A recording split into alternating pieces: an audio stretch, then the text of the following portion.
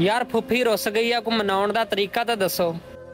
ਨਹੀਂ ਤਾਂ ਮੇਰਾ ਈਦ ਦਾ 150 ਮਰਦਾ।